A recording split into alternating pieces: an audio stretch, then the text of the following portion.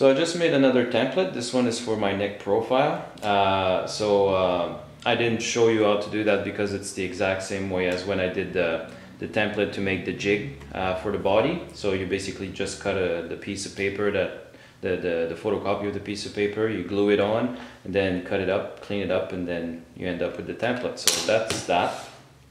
Uh, this is my neck blank. You saw that I uh, edged it on the jointer and then I put it through the the drum sander because I didn't want to have snipes on either side so it took a bit longer but that way I've got more of the the neck blank usable.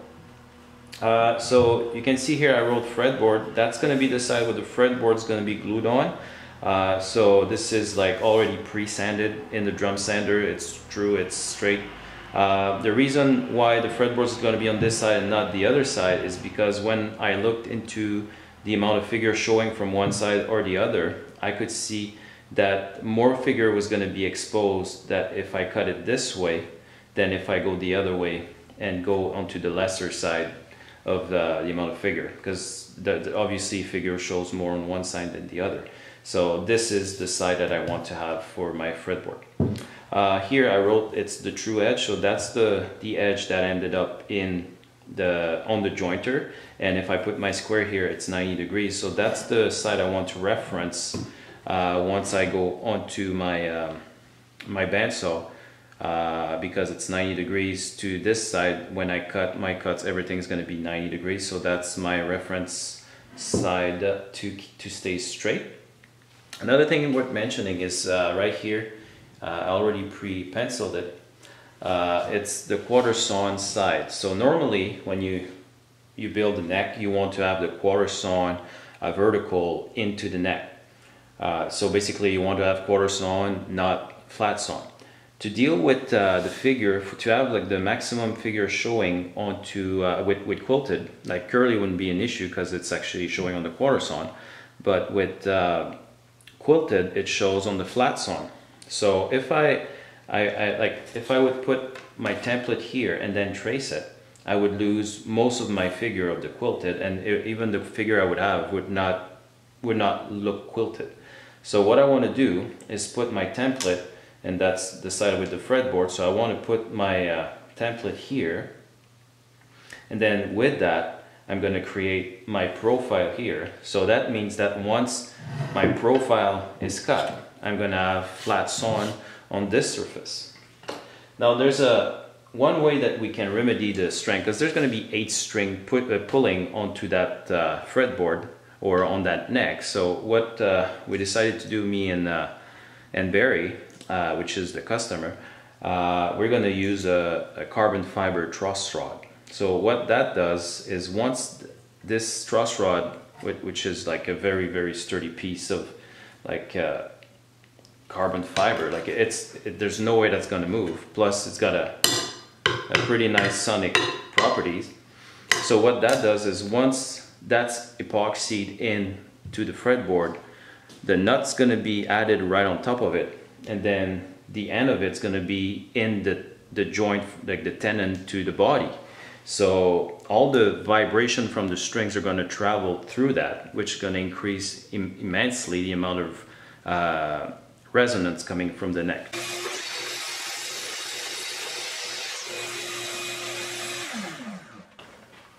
Well, I should have tested that.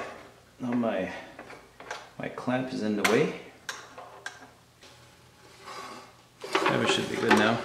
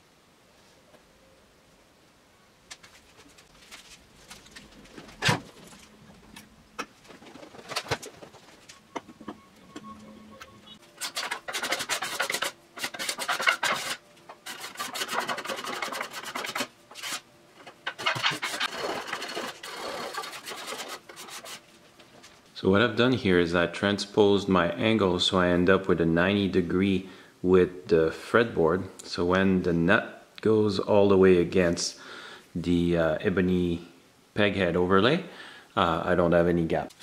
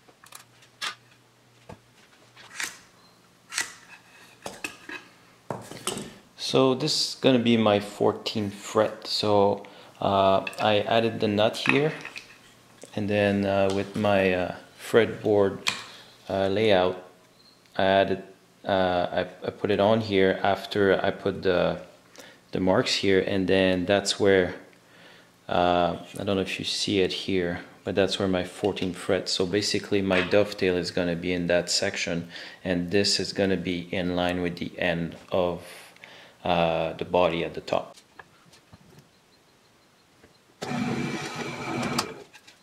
Here I made a hole at the end of the peg head where that little uh, notch is just to be able to realign the peg head on this side because I'm gonna be cutting it uh, from the back side. So I'm gonna realign with my center line and then retrace the peg head.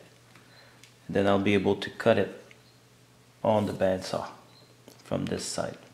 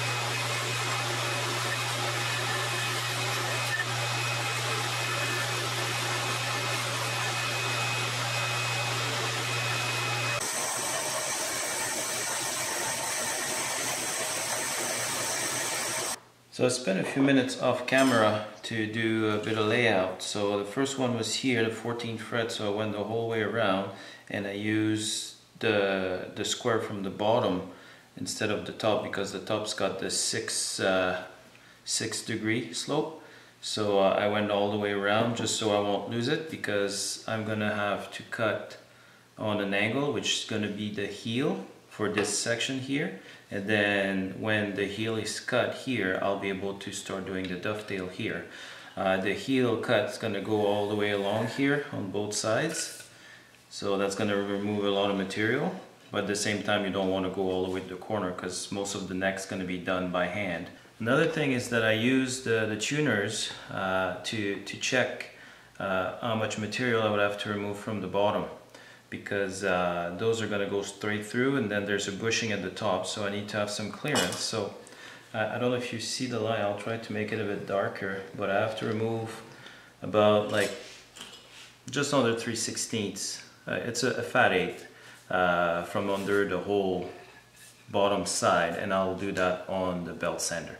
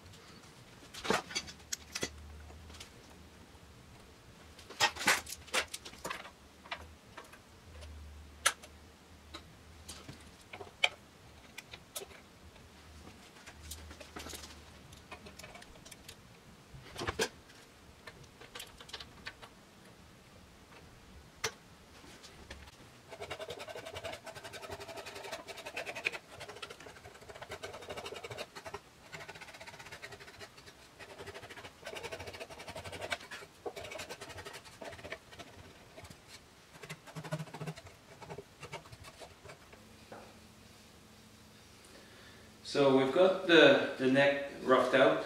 Uh, at this point I'm gonna I'm gonna stop right here because like it, it, like I said it's roughed out. I'm not gonna do all the finish sanding and all that stuff just now. I'm gonna wait to be a bit further ahead in the, the build. So the next few steps coming up are gonna be the dovetail joint uh, from the neck to the body of the instrument. So that's gonna be a video coming up. Also on the peghead here, uh, I'm to have uh, mother of pearl inlay of uh, the name brand. Uh, I'm to do hand cut uh, mother of pearl inlay. So that's another video coming up. I'll put like the, the holes to uh, the tuners as well in the peghead in that video. But basically for now, I'm going to wrap this one up. So I want to thank you guys for stopping by and watching. If you're new to my channel, you can subscribe right here on the on the link here. I'll also leave a link in the description for the whole playlist of this build if that's something you want to see more of. So that includes the, the building of this uh, body here and, and the neck. Don't forget to like and share and as usual I wish you well.